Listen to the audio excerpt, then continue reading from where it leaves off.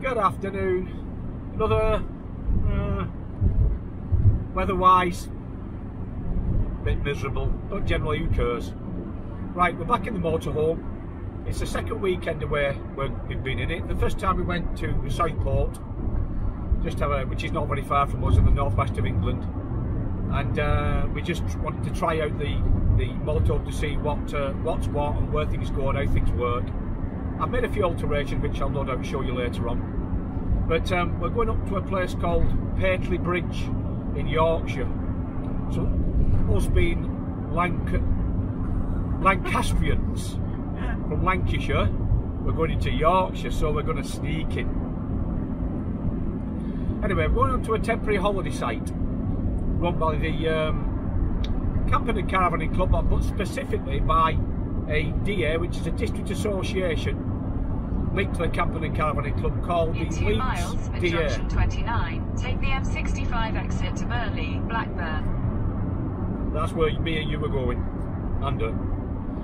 And um, the Leeds DA run quite a lot of events over over the year. Obviously not since COVID, but um, now COVID's um, slowly lifting up and we've got a bit more freedom.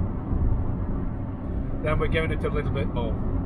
We're going to meet our friends Andy and June, and you've seen quite a few times on the video. They're already there. And hopefully we're going to have a good time and I'll show you around um, Bridge as well and what that may have to offer you if you decide to um, come up to this part of the woods, as they say.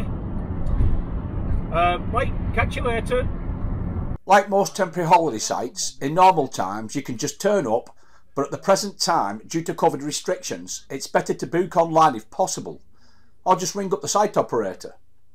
You can find lots of information on the Out and About app, which is free download for iOS or Android.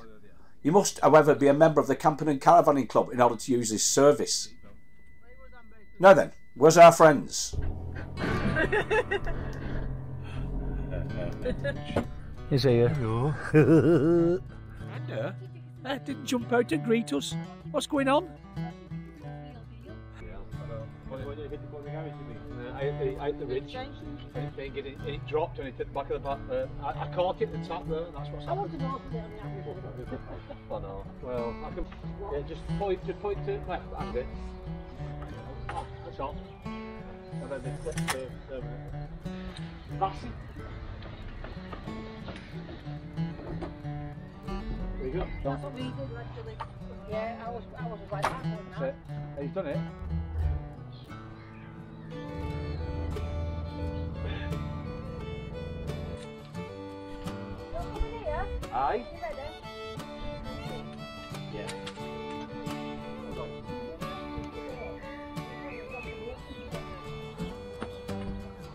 Now, some of these temporary holiday sites uh, allow open fires as long as they're off the floor.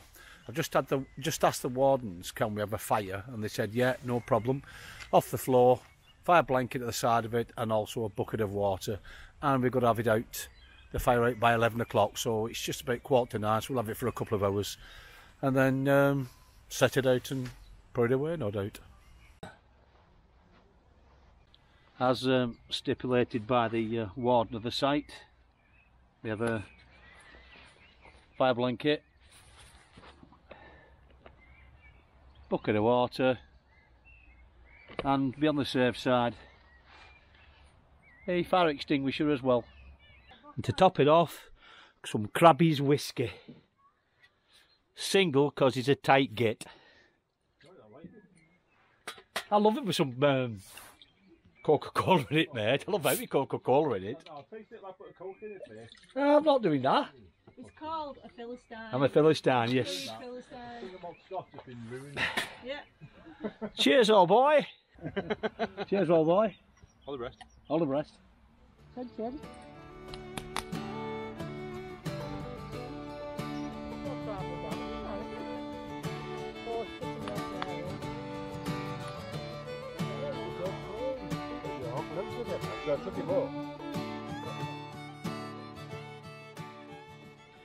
Good morning. Nice and early today. Well, nine, ten o'clock. Um, so Jude's got some eggs and sausage on, and uh, both of us in these vans haven't got a grill. So I'm trying something that I've used before many years ago to do some toast. Uh, I'll show you where it is. Bit precariously balanced, but I thought I'd try it outside here first just to see if anything happens. And uh, I don't want to burn things down. At least here I can, you know, cope with it.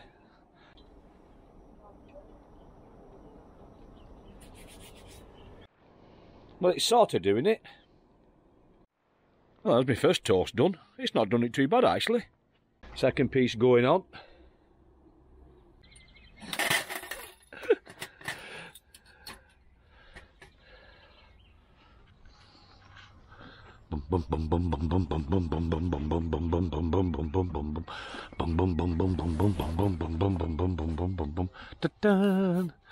There's official Toast the bitter.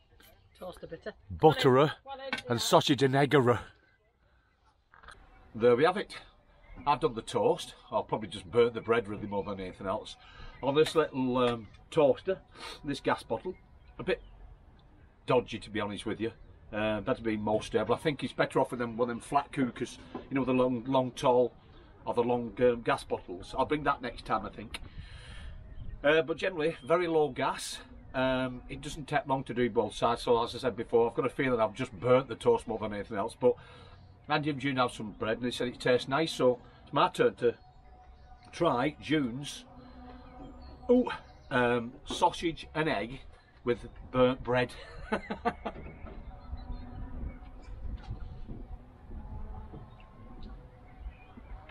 Sausage eggs are all right. Bread's not bad.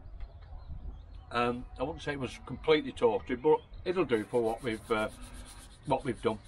As I said, we haven't got um, any grills in these vans, so next best thing, I suppose. Right, raining today. We're going to have a walk into Pateley Bridge to see what it has to offer for us lot and maybe you if you decide to turn up and have a look round here. Pateley Bridge is a small market town in Nidderdale in the borough of Harrogate, North Yorkshire, England. Historically part of the West Riding of Yorkshire, it lies on the River Nid. It's in the Yorkshire Dales but just outside of Yorkshire Dales National Park. The town has a number of pubs and a variety of small shops.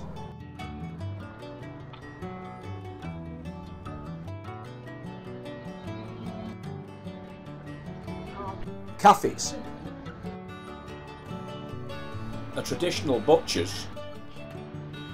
And a pizza shop. A local spa. And a petrol station. It has a lovely recreational area for the children. The town boasts that it has the oldest sweet shop in England. 1827. The sweet shop is now housed in one of the earliest buildings in Pateley Bridge, dating from 1661. The Tour de Yorkshire normally runs through Pateley Bridge. Pateley Bridge seems to be just mainly one street, but it seems to have quite a lot to offer. The town is within the Nidderdale area of outstanding national beauty. The town was listed in both the 2017 and 2018 Sunday Times reports on best places to live in Northern England. The local tourist authority bills it as the perfect place to start your exploration of the Yorkshire Dales. After a hard day's mooching, it's nice to have a sit down and have a brew and a piece of cake. There's Pateley Bridge for you if you fancy coming along and spending a day or a weekend here. Well, walk along the River Nid. Um, I'm not exactly sure where we're walking, to be honest with you, but apparently it leads to a pub that's got seating. So fingers crossed, we can sit down and have a pint.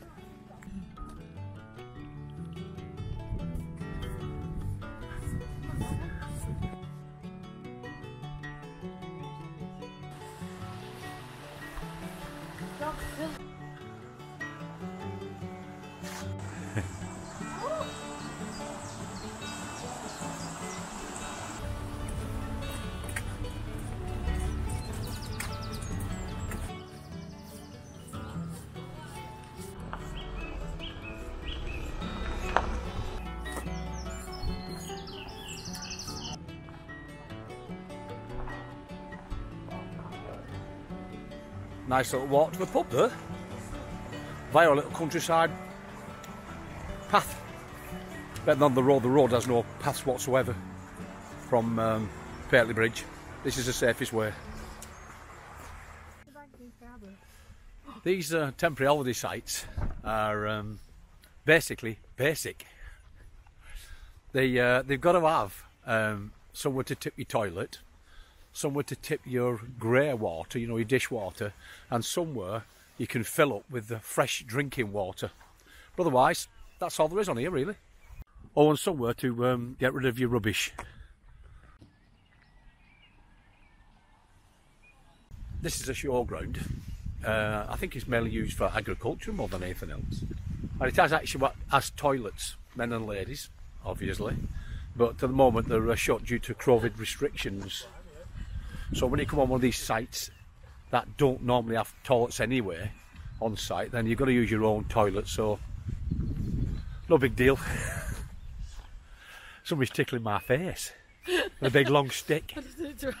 I'm talking to the uh, organisers of this um, temporary holiday site. They said they can fit up to about 400 units on it, so it's quite a big site actually.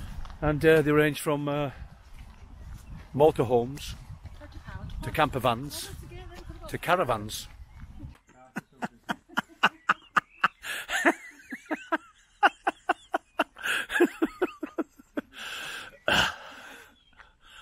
This is a big ass competition, June.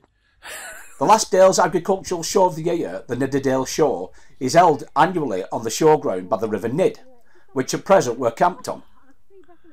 The show usually attracts over 14,000 visitors each year, but it's on hold at the moment due to COVID restrictions.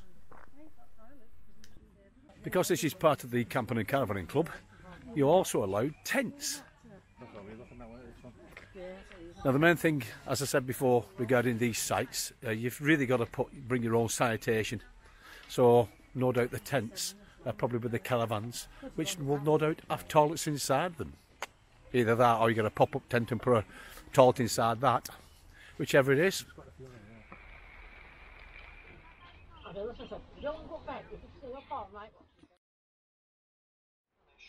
Good morning.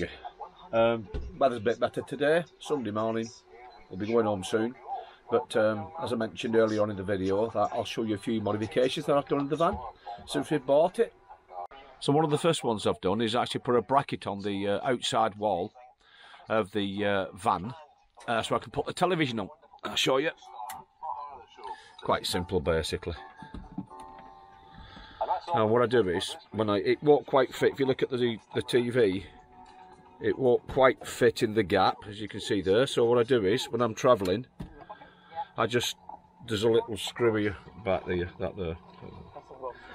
And uh, I just swing it over so it's um, it's uh, vertical. And then I just push it back and it's lovely. And a nice little curtain that was already here just covers it over and to power that uh, TV 12 volt um, I've put a couple of sockets in one is uh, this USB one double USB one and the other one is where the socket, uh, the 12 volt socket fits into the, uh, the cigarette type lighter one. Now, um, I've got uh, another bracket that I can fix together, but I'm not sure what to do. Might just leave them there like that, or I might actually put them here. Just cut a couple of holes, stick. I'm not sure yet. At the moment, they're out of area. They're sort of out of sight, out of mind type of thing. Just actually, the wires are actually coming through. And uh, the aerial which isn't a mod. That little aerial there, it's quite strong actually, but um, it's not put on the roof. I don't fancy putting on the roof. We don't watch a great deal of telly. So uh, it's just a matter of uh, sticking the TV for the time being. Quite a good signal around this area. And back of the TV, really. These little lights came with the van. Quite bright. They're halogen, though. And um, I've not changed these yet, but I've changed them over the bed. I'll show you in a minute. Now these uh, over the bed are, uh, were halogen, but I've changed them for uh, low LED wattage power.